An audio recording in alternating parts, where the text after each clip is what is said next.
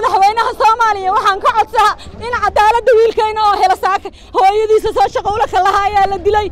Halkan oo isgoyska howlwadaag ee degmada howlwadaag ee magaalada muqdisho ayaa hiirtii hore ee saake waxaa askar ka tirsan ciidamada dawladda ay si bareera ugu dileen saddex ruux oo ka mid ah wadayaasha gaadiidka noocyadooda kala duwan.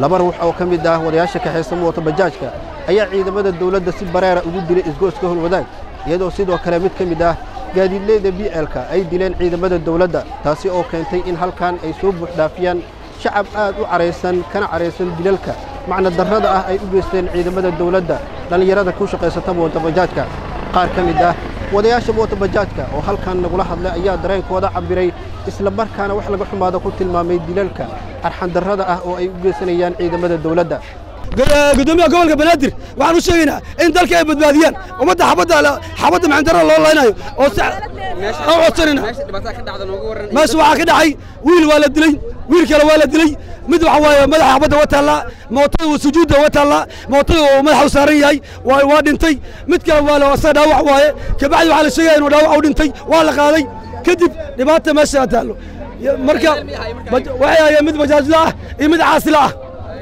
kii bajaajla waa dhintay kii caasila waa la qaaday dhaawacoodana u dhintaa la leeyahay marka waxaan u sheegaynaa in micnaha baarlamaanka iyo dowladda inay dadkeeda badbaadiyaan. Annagana ay shacabka badbaadiyaan. Waddanka ay si nabadgelya oo loo shaqeeyo loo shaqeeyo. Annaga waxaan rabnaa cadaalad wiilkayna saakaasoo waxba galabsan. Hooyadiisa oo la socda ani habaryartiisa ah. Hooyadiisa iyo walaashiisa oo la socoyey hooyadiisa amsiyaajka cariif ee ka shaqaysa waxba ma uusa galabsanin. Marka wax cadaalada hoon saaka helna ma leh. Guddoomiyihii degmada oon sugaynay. Xabadaanu lagu shubay macalaa kuwa saldhiga wayna xabadeeyeen wiilka hooyadiisa maskaxda korka u saaran xataa daba jeexaa lagu rido cadda soomaaliya cadaalad inaan helnaan rabnaa madaxweynaha soomaaliya guddoomiyaha gobolka waxaan ka codsihaynaa oon baaq dheer u dirayna wiilkayna qofka ku tagrifashay in tiirka noola ge haddaanan tiirka noola geyno waxay tegaysaa qabiil ninaan dhulka ka dhasha ma leh madaxweyne madaxweynaha soomaaliya waxaan ka codsahaa in cadaaladda wiilkayna oo hela saaka hooyadiisa soo shaqowlaka lahaa ayaa la dilay. Wadda xataa ma oosa soo gelinin. Meeshii lagu dilay waa la joogaa. Wadda sooma gelin. Wariga joog nin cabsan oo taraama dooliitaan buu soo cuna xalay. Oo jaadkii u gooyay inuu maalin kasto nin aqoon-yahana oo wax bartay inuu dilo. Cadaalad xumo waay.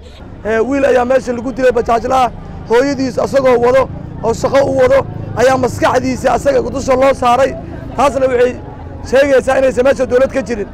Waxaan ka codsanaynaa dhallinyaro soomaalidaana ka shaqaysa magaalada muqdisho. Waa in la soo qabtaa oo nagula qanciyaa oo tiirka la geeyaa. Sida oo u dilay asagoo dhihi kara ka wareeg waa qof shacaba waxuba ma wato. In inta la dilo maalin walba la dilo la yidhaah waa la daba joogaa waxba nooma qabato. Waxaan ka codsanaynaa in inta la soo qabto tiirka la taago asagana sida uu u dilay arxandarradaa loo dilo waxaad arkaysaa wiil waxaa ku dhintay meesha bajaajlaah mid kaleo caasila ah ku dhintay. Xabadda ninkan ka baxdaa ku sii dhacday. Mid kale waa dhaawac. Hadday weli sii wadaanoo dadka sii leynayaan waxaan ka codsanaynaa madaxweynaha. Isagaa ugu weyn. Waa inuu arrintaas wax ka qabtaa tillaabo degdeg waa inuu isla xilligan ka qaadaa. Haddii uu ka qaadi waayo ogow waxa uu xoreeyaha waa been. Waxa uu xoreeyaha waa been.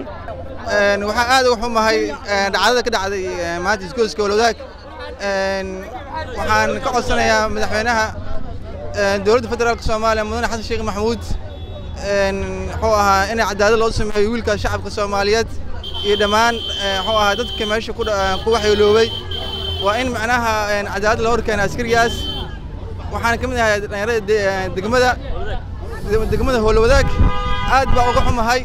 Ciidamada dawladda ayaa inta badan dilal bareera u geysta dhallinyarada ku shaqaysta mootobajaajka taasi oo keentay ilaa iyo haatan in hay'adaha garsoorka aanay cadaaladdu marsiin askarta ka tirsan ciidamada dawladda ee sida bareerka ah u dila dhallinyarada ku shaqaysta mootobajaajka cabdiqaadir maxamed c b a t v isgoyska howlwadaag magaalada muqdisho